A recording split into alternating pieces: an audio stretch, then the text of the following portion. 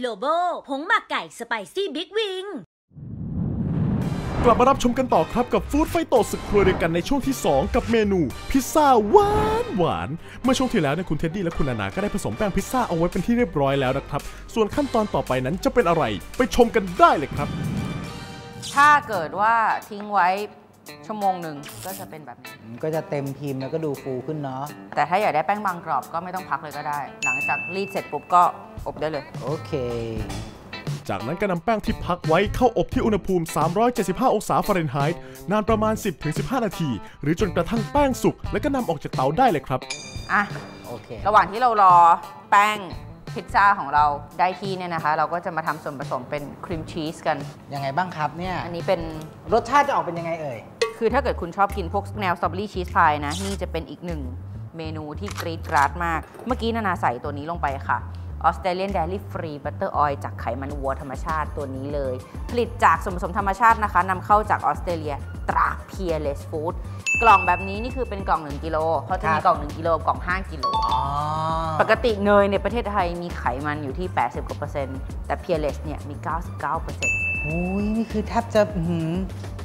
เต็มร้อยแล้วนะ ใช่ อันนี้ใช้ Peerless นะคะเนยของเราอุณหภูมิห้อง พอคนเขาก็จะกลายเป็นก็จะคเนีรียนมๆเลยแบบนี้เลยนะครับอ่าแล้วฮะตอนนี้ผมก็ได้กลิ่นแล้วนะ แบบกลิ่นเนยอ่อนๆเลย แต่ว่าเราจะใส่ความเป็นครีมชีสเข้าไปค่ะนะฮะอืมเดี๋ยวนะครับ เอาละครับ เราจะมีเนยของ Peerless นะครับ แล้วก็จะมีครีมชีส มีเคล็ดลับอยู่นิดนึงก็คือทั้งเนยของ Peerless เนี่ย แล้วก็ตัวครีมชีสเนี่ยทิ้งไว้ที่อุณหภูมิห้องก่อนค่ะเวลาคนผสมจะได้ง่าย ๆ แบบนี้เลยนะฮะ จากนั้นเพิ่มความหวานหวานๆหน่อยนะครับ ก็จะเป็นนมข้นหวานนะครับอะขออนุญาตนะฮะอืมผิวมะนาวค่ะ เวลาขูดมะนาวก็เลือกเฉพาะผิวเขียวๆ ตัวขาวๆอย่าเอามานะมันจะขม เราจะเพิ่มความเป็นสตรอเบอรี่นะครับ ด้วยนี่เลยครับสตรอเบอรี่ฟรุตเบ d พ Preparation นะครับ ตรา Nature Taste นะครับนอกเหนือจากจะเอาไปทำเครื่องดื่มอร่อยๆ ได้แล้วนะฮะ มาทำเบเกอรี่แบบนี้ โอ้โห ความสตรอเบอรี่นั่นคือสุดยอดจริงๆอะสีสันได้กลิ่นได้รสชาติได้นะครับ โอ้โหอะเหมือนทั้งสวนนะอยู่ในนี้ ผมพูดเลย ดูดีมากดูดีมากนะแล้วสีเขาพาสเทลไปเลยนะเนี่ย ชิมเหรอครับ ใช่สิคะรออะไร คุณมันพวกอ่อนหัดจริง ๆ เลย เฮ้ย แหม คุณเท็ดดี้เขาเตรียมพร้อมตลอดเวลาจริง ๆ ครับ เรื่องชิมเนี่ยขอให้บอกเลย อืมอืม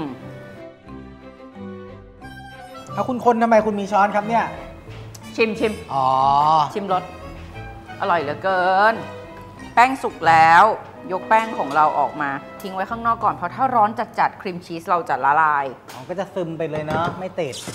จากนั้นก็นำสตรอเบอรี่สดนำมาหั่นเป็นชิ้นๆ เพื่อนำมาเป็นท็อปปิ้งบนหน้าพิซซ่าครับ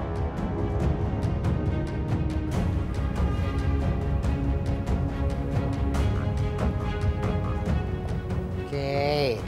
อะ พอดีเลยอะละครับ ตอนนี้เรามีพิซซ่าแล้วมีท็อปปิ้งแล้วอะซอสพิซซ่าอยู่นี่ อ๋อ จัดการ ได้ค่ะ ทำไมต้องใส่ถุงมือด้วยอะก็อาหารของเราเป็นอาหารที่เราปรุงสุกแล้วไงคะเชฟ อืมดีมากเรื่องที่ผมสอนคุณเนี่ยคุณไม่เคยลืมเลยนะ ผมรู้สึกภูมิใจในตัวคุณจริง ค่ะเชฟ ปกติเนี่ยพิซซ่าที่เป็นแบบปกติแป้งรสคาวเนี่ย ก็จะเป็น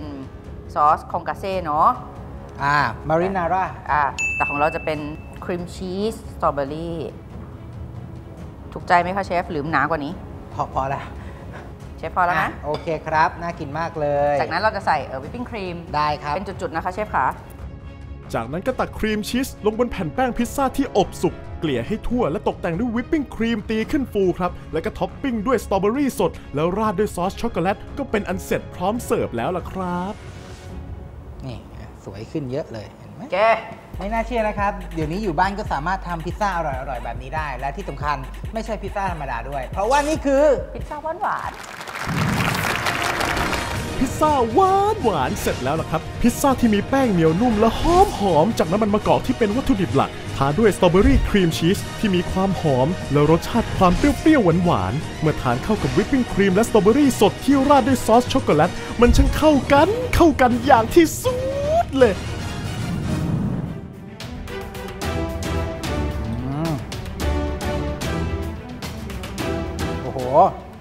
มันหวาน มันกลมกล่อม มันสดชื่น แล้วตัวแป้ง ยิ่งเคี้ยวยิ่งเหนียวยิ่งนุ่มนะฮะ แล้วก็จะมีกลิ่นของเลมอนอ่อนๆด้วย น้ำมันมะกอกวันนี้ดีมากๆ ตรงที่ครับว่าหลังจากเอามาทำกับข้าวเสร็จแล้วเนี่ยนะคะ คุณเชื่อไหมว่ากลิ่นของเลมอนอินฟิยังวอยู่ของเขาอะหอมมากวันนี้เรามีเมนูแกงเหลืองปลาทับทิมยอดผักบุ้งจากน้ำมะขามเปียกเข้มข้นตราเนเจอร์เทสมาฝากค่ะ ใส่น้ำลงในภาชนะนำขึ้นตั้งไฟพอเดือด ใส่น้ำพริกแกงเหลืองคนจนละลาย ต้มจนกระทั่งเดือดปรุงรสด้วยน้ำตาลปี๊บเกลือป่นไทย น้ำปลา และน้ำมะขามเปียกเข้มข้นตราเนเจอร์เทสคนให้เข้ากัน ใส่เนื้อปลาทับทิมและยอดผักบุ้งไทย พอเดือดแล้วคนให้เข้ากันจากนั้นปิดไฟตักใส่ภาชนะพร้อมเสิร์ฟครั้งหน้าน้ำมะขามเปียกเข้มข้นตราเนเจอร์เทส จะมีเมนูใดมาฝากคุณผู้ชม ก็ต้องรอติดตามกันนะคะ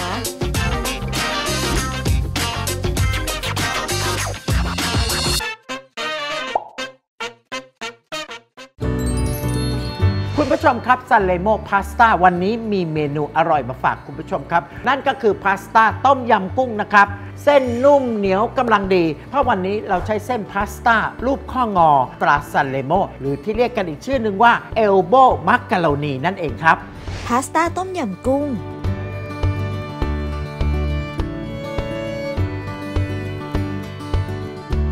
เริ่มจากใส่น้ำลงในภาชนะ ตั้งไฟพอเดือด ใส่เกลือป่นเสริมไอโอดีน คนให้เข้ากัน ใส่เอลโบมักกะโรนีบราซันเรโมพาสต้ารูปข้องอ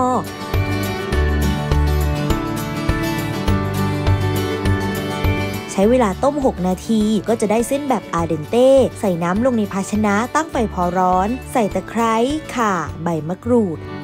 รากผักชี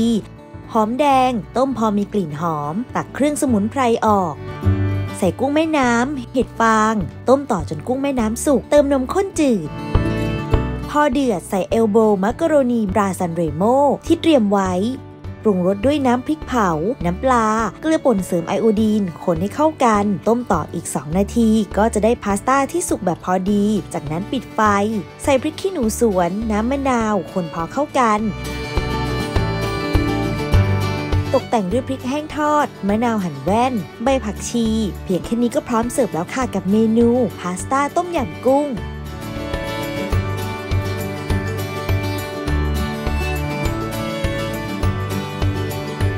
จำไว้นะครับซันเลโมพาสต้าพาสต้าสำหรับคุณและครอบครัว โปรโมชั่นพิเศษ ซื้อซันเลโมพาสต้าวันนี้ พิเศษ 2 แพ็คราคา 99 บาท จากปกติราคา 130 บาท ตั้งแต่วันนี้ถึง 4 พฤษภาคม 2564 หาซื้อได้แล้วที่ท็อปซุปเปอร์มาร์เก็ตทุกสาขาทั่วประเทศ Family's the place where love never ends.